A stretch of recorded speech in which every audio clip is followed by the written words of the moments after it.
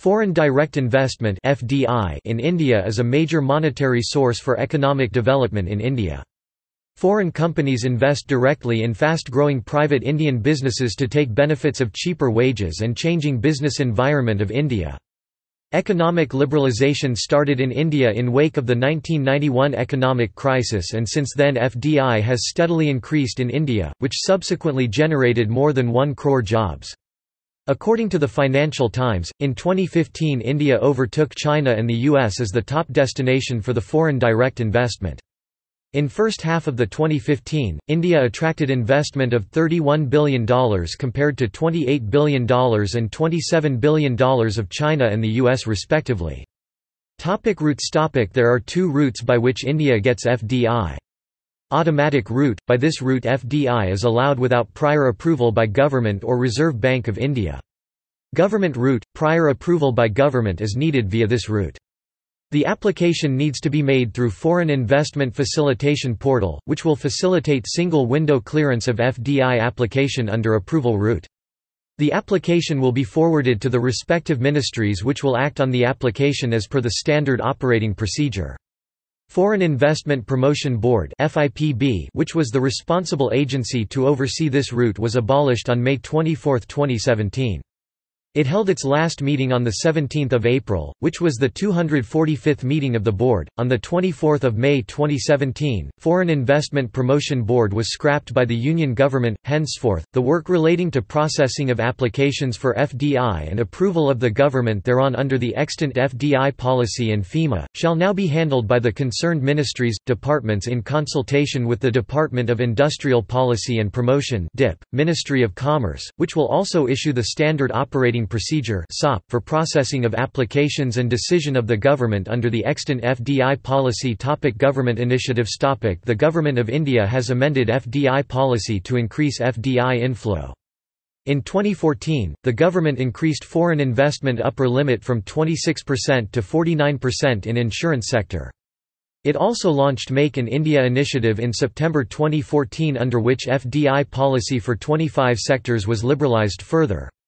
As of April 2015, FDI inflow in India increased by 48% since the launch of Make in India initiative. India was ranking 15th in the world in 2013 in terms of FDI inflow. It rose up to 9th position in 2014 while in 2015 India became top destination for foreign direct investment. Topic sectors topic During 2014-15, India received most of its FDI from Mauritius, Singapore, Netherlands, Japan and the US. On 25 September 2014, Government of India launched Make in India initiative in which policy statement on 25 sectors were released with relaxed norms on each sector. Following are some of major sectors for foreign direct investment. Topic infrastructure Topic 10% of India's GDP is based on construction activity.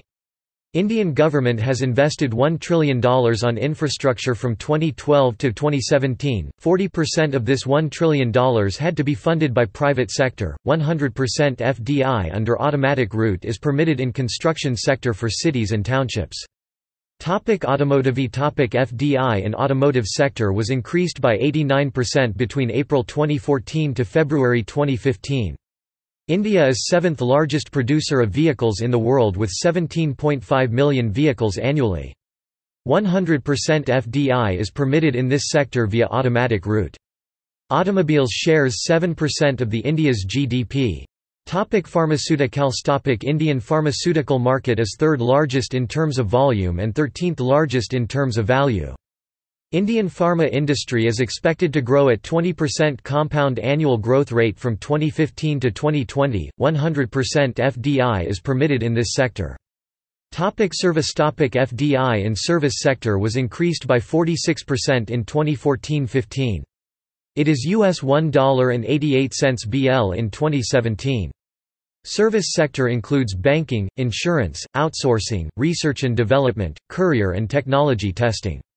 FDI limit in insurance sector was raised from 26% to 49% in 2014.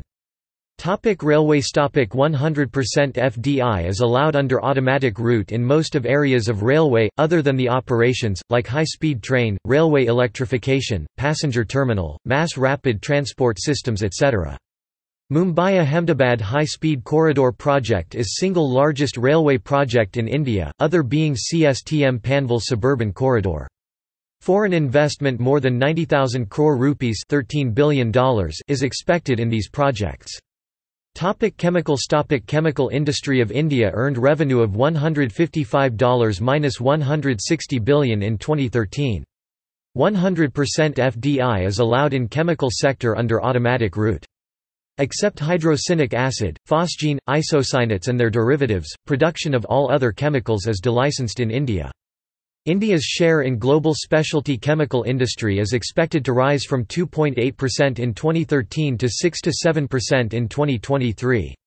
Topic textile Topic Textile is one major contributor to India's export. Nearly 11% of India's total export is textile. This sector has attracted about $1,647 million from April 2000 to May 2015.